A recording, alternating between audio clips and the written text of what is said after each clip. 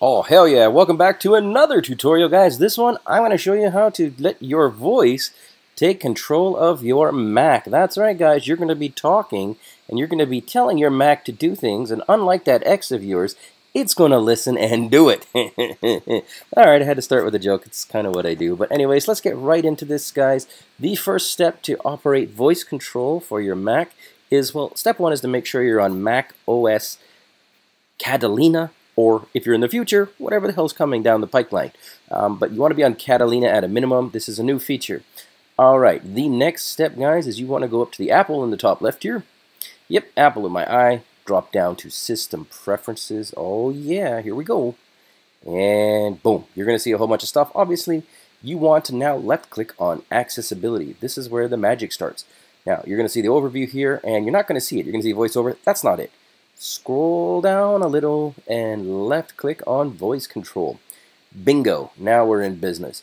The next step here is you want to, of course, click this checkbox. So you just want to check that.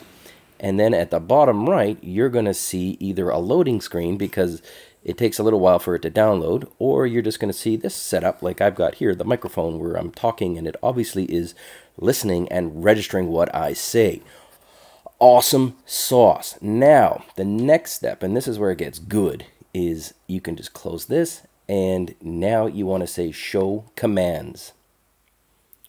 So, show commands. Come on. Come on, show commands. My computer's running a little slow right now because I have After Effects on in the background.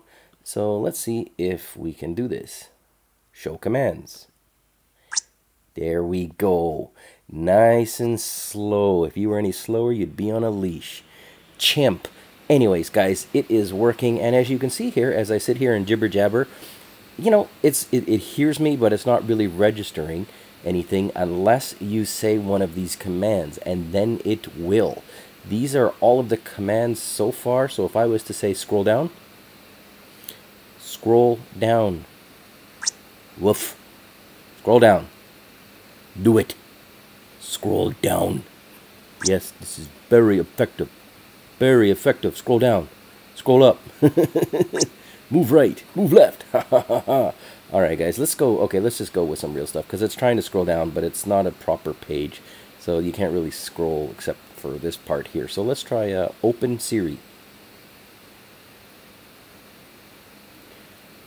Open Siri.